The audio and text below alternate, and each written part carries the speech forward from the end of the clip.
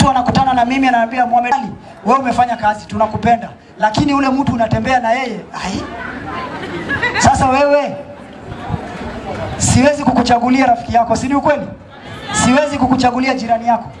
Nelson Rolilahi Mandela wakati mmoja aliulizwa katika ukumbi wa Marekani, akaambiwa, wewe bwana Mandela, wewe ni mtu mzuri, wewe ni mtu wa maana, lakini unatembea na watu ambao ni wabaya.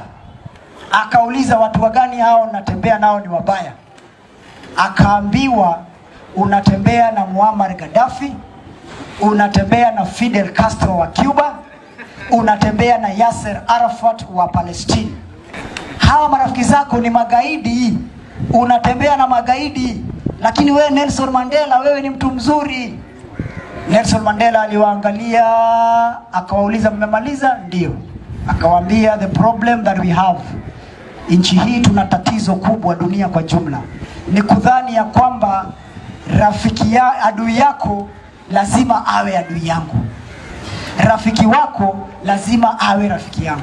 Nelson Mandela aliwaambia, wakati wa Afrika walikuwa na uwao wa Afrika Kusini, waliokuwa wakitusaidia wakati wa vuguvugu, wakati wa struggle walikuwa ni Fidel Castro, Muammar Gaddafi na Yasser Arafat. Walitupatia chakula, walitupa silaha tupigane na makaburu mpaka tukakomboa nchi yetu. Nyinyi wazuri wote mlikuwa wapi wakati wa Afrika walikuwa wanauawa? Sasa wewe wachana rafiki yangu bwana. Kama rafiki yangu ni Ruto, si wewe pia uchague rafiki yako bwana? Ama vipi? Si kuna mtu rafiki ya Uhuru Kenyatta? Si kuna wa Raila Odinga? Si kuna wa Ruto? Si kuna wa Musalia Mudavadi? Si kuna wa Kalonzo? Sasa kwangu shida ni nini bana? Si kila mtu akae na rafiki yake, lakini kazi tupige, si ndio?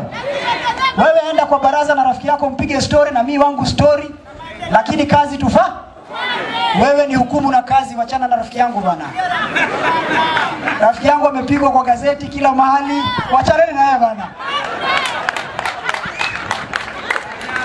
Lakini ni Simba pia yeye, si ndio? Ako ngangari, si ndio? Wangapi wanampenda bwana? Wangapi wanapenda Ruto? Eh? Bas, si tuko sawa? Kwa hayo machache